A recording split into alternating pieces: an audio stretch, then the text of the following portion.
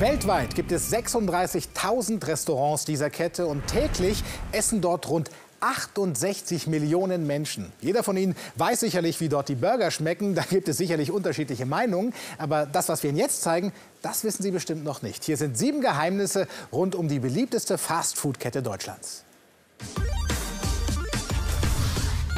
Und hier kommt unser Mythos Platz 7. Ist der Big Mac in jedem Land gleich?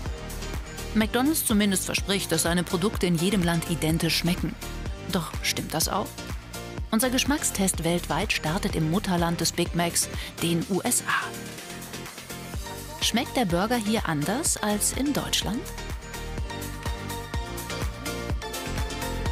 Der Geschmack der Gurken überdeckt so ein bisschen alle anderen Geschmäcker. Und das ist auch so der Unterschied zum deutschen Big Mac. Ansonsten finde ich ihn geil und finde ich ihn lecker. Weiter geht es in China. Optisch macht der Burger schon mal viel her. Und schmeckt er denn auch? Unser Galileo-Reporter Harro macht den Test. Bis jetzt ist noch kein Unterschied festzustellen. Also eins zu eins wie in Deutschland.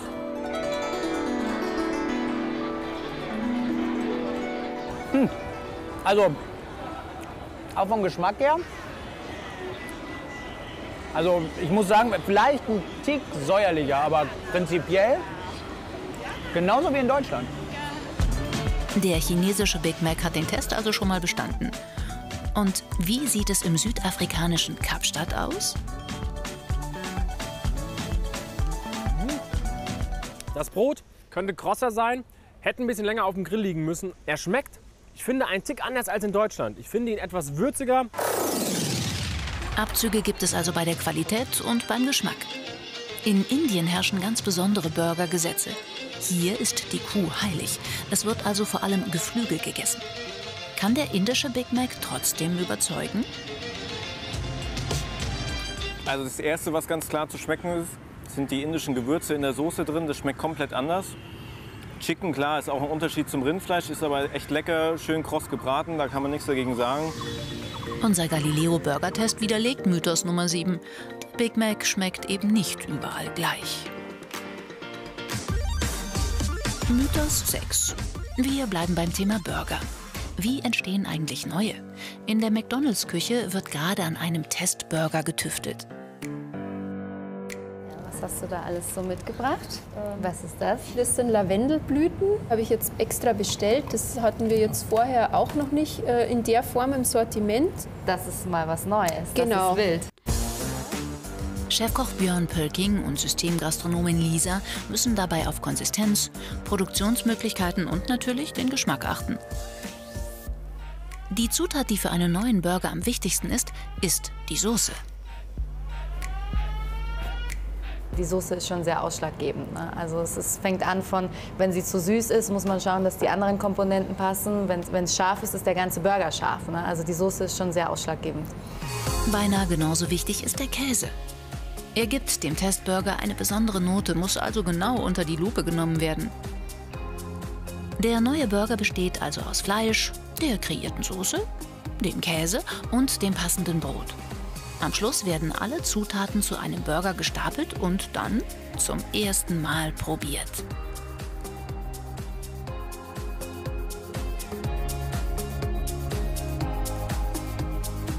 Ganz wichtig, aber auch der Optikcheck. Schließlich ist das Auge ja mit. Ausschauen tut der Bacon schon gut, wenn er hier oben rauskommt. Das hat natürlich schon was.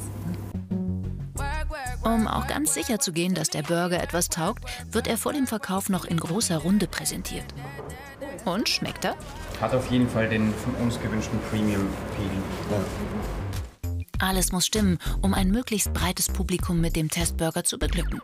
Doch das ist nicht immer leicht. Das heißt, wir, im besten Fall wäre es gut, dass wir den dann gleichzeitig auch garnieren können, sprich, Ja. dass man den gleichzeitig toasten kann und Genau, dass man da eh- vielleicht darauf achtet, auf die Bannhöhe, dass die gleichzeitig ist. Das, aber das können wir uns ja dann nochmal anschauen. Ja. Natürlich kannst du den tollsten Burger überlenken, aber manchmal ähm, ist es halt in so einem System auch nicht umsetzbar. Zwei Hürden muss der Testburger noch nehmen, bis er im Bestfall im Verkauf landet. Erst dann zeigt sich, top oder flop. Apropos, Mythos 5, die größten Flops. Auf Platz 3 die McPizza, die sich neben den Burgern nicht halten konnte und floppte. Platz 2 belegt der McLobster. 6,50 Dollar waren den Kunden für diesen Hummer-Hotdog einfach zu viel. Und der wohl größte Flop in der Geschichte von McDonald's, der Bio-Burger. Mit ihm wollte McDonald's 2015 Erfolgsgeschichte schreiben und eine neue Richtung einschlagen. Doch außer dem Fleisch war nichts Bio am neuen Burger. Am Ende eines zweimonatigen Testverkaufs stand dann das aus. Grund? Die mäßigen Umsatzzahlen. Und es kommt noch schlimmer. Auf der 4 kommen die größten Skandale um den Fastfood-Riesen. Ausgerechnet im Heimatland des Weltkonzerns ereignet sich 2011 ein handfester Skandal. Starkoch Jamie Oliver enthüllt in einer Fernsehshow, wie McDonald's seine Burger Patties produziert. Billige Fleischreste werden mit Ammoniak vermischt. Das macht die Bulette zwar haltbar, aber ungenießbar. Und der kleine Koch schleift den Megakonzern tatsächlich vor Gericht und gewinnt. Das Ergebnis? McDonald's stellt seine Fleischproduktion nach verlorenem Prozess um. Skandale wie dieser schaden auch dem deutschen Unternehmen. Die meisten Gäste unterscheiden nicht. Wir haben ja aber eine völlig andere Gesetzgebung. Wir haben teilweise andere Kontrollen. Und ich darf Ihnen sagen, alles das, was Sie aus dem internationalen Markt äh, herausgreifen, trifft nicht zu auf McDonald's Deutschland. Immerhin, McDonald's Deutschland behauptet, dass 90 Prozent des Fleischs von deutschen Rindern stammen. In der Werbung lockt der Konzern mit Bildern von glücklichen Kühen auf großen Weideflächen. Jedoch gibt die Kette zu, die Rinder auch über Stallhaltung zu züchten. Biofleisch ist es also nicht, aber zumindest sollen billig produzierte Patties wie in den USA hier auf keinen Fall auf den Teller kommen. Einen weiteren Skandal, der McDonald's einen Haufen Geld kostete, hat dem Fastfood-Riesen eine alte Dame beschert. Die hat sich an einem Café verbrannt und McDonald's verklagt, weil das Unternehmen nicht darauf hingewiesen hat, dass der Kaffee heiß ist. Sie bekam Recht und unglaubliche 640.000 Dollar Schmerzensgeld. Ein teurer Unfall, dank dem nun auf jedem Heißgetränk vor Verbrennungsgefahr gewarnt wird. Weiter in unserem Mythen-Ranking geht es mit Platz 3. Und der Frage, ob Karriere und McDonalds zusammenpassen, oder stimmt das Klischee vom einfältigen Burgerbrater etwa doch? In einer Berliner Filiale arbeitet Christian als Assistant Manager. Er dachte allerdings nicht immer an einen Job bei McDonald's. Ich bin gerne schon immer zu McDonald's gegangen, aber da zu arbeiten, nein, war nie äh, mein Karriereziel. Äh, hat sich so ergeben und jetzt bin ich hier. Scheinbar steckt mehr hinter seinem Job, als Pommes und Burger an die Frau und den Mann zu bringen. Alles, was anfällt bzw. auf dem Boden, liegt in Christians Aufgabenbereich. Auf der Treppe ist Kohle ausgelaufen. Ganz ja. kurz mal mit dem Mob nehmen und bitte wegwischen, ja? Ich stelle schon mal die Schilder auf, okay? Okay. Super. Das schlechte Image seines Jobs kennt der stellvertretende Restaurantleiter natürlich, versucht allerdings mit alten Klischees aufzuräumen das Umfeld lächelt schon mal. Gerade am Anfang, als man hier angefangen hat, hieß es dann schon, ach so, du bist jetzt hier der neue Grillmeister und stehst schön hinter der Fritteuse. Wenn man jetzt den Leuten mal sagt, was ich da wirklich tagtäglich mache, dass ich da mit Menschen arbeite, dass ich für die verantwortlich bin, dass ich denen einen Arbeitsplatz biete und dass ich tagtäglich neuen Herausforderungen äh, vorgesetzt werde, ja, dann gucken erstmal alle, ach so, das geht auch bei McDonald's. Für diese Aufgaben und seinen späteren Job als Restaurantleiter bereitet sich Christian seit mehreren Monaten auf die Prüfungen vor.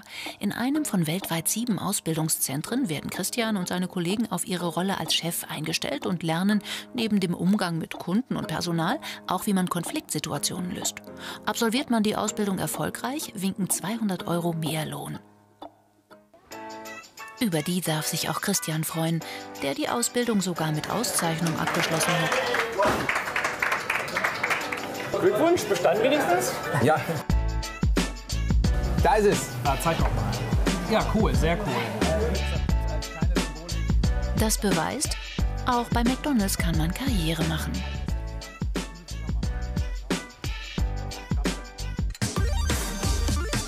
Unser Mythos Nummer 2 deckt auf, was hinter dem so bekannten McDonald's Dresscode steckt.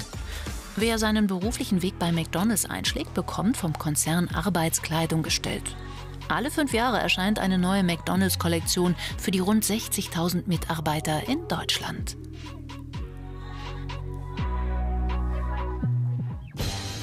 Das Münchner Unternehmen Weißhäupel produziert bereits seit 1971 die Arbeitskleidung für McDonald's.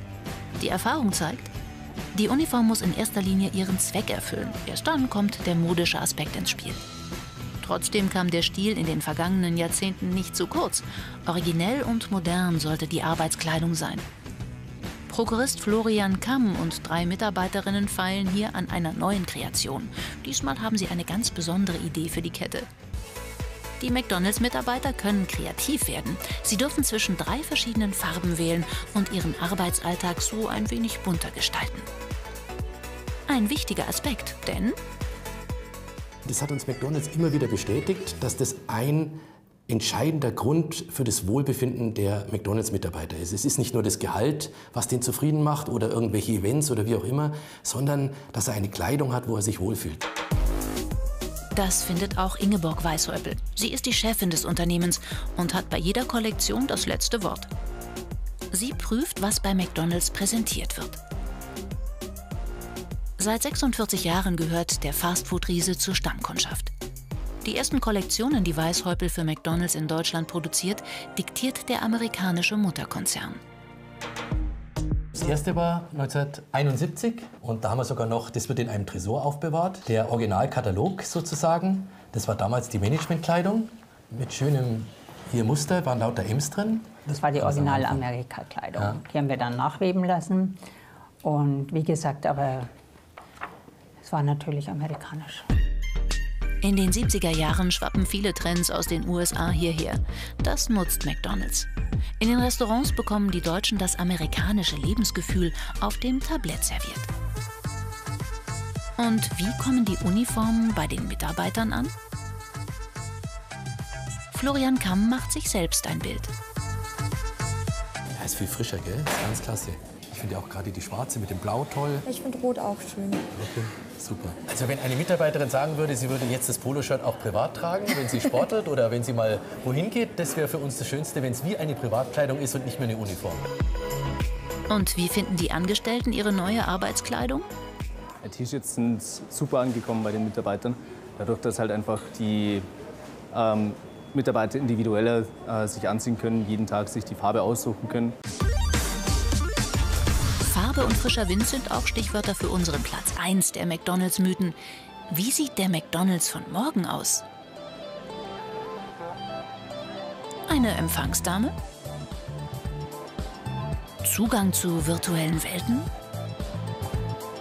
Keine langen Schlangen mehr? Bestellen über riesige Displays? McDonald's goes Hightech. Energie für Handy und Laptop. Das ist die Vision von Fast Food 3.0. Eine neue Möglichkeit, an sein Essen zu kommen? Die Easy Order Terminals. Bestellen wie mit einem Riesentablet und das Essen gleich mit Karte zahlen. Alle Aufträge landen über das elektronische Bestellsystem in der Küche. Vorteil für den Gast: Beim Burger on Demand ist alles frisch. Nichts wird später weggeworfen. Was als Klick auf dem Display beginnt, endet vorne als verpackter Burger. Und der ist oft schon fertig, wenn der Gast gerade sein Portemonnaie wieder eingesteckt hat. Auch wenn einmal alle Sitzplätze besetzt sind, soll es mit dem neuen System keine langen Wartezeiten geben. Darf ich Ihre Bestellung schon aufnehmen? Eine andere Möglichkeit, an sein Essen zu kommen, bestellen bei der Kellnerin. Bedienung im ehemaligen Selbstbedienerlokal. Eine weitere Neuerung, der Burger auf Kundenwunsch. Den gibt es in Deutschland vorerst noch nicht. In Österreich und einigen anderen Ländern wird er in ausgewählten Restaurants allerdings schon getestet.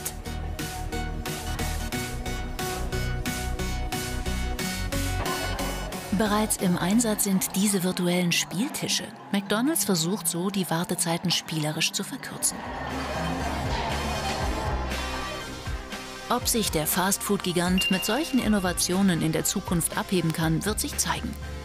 Fest steht allerdings, Big Mac und Co. sind immer für einen Mythos gut.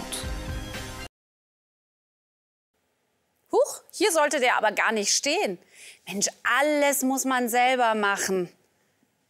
So, Freunde, jetzt könnt ihr aber abonnieren. Ja, genau. Jetzt hier draufklicken, es gibt Neues aus der Galileo-Welt.